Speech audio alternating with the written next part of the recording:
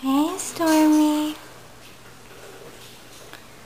This is Storm. He is uh, regurgitating for me right now. He let me pet him for the longest time I have ever done before, which still is only a few seconds, but just saying.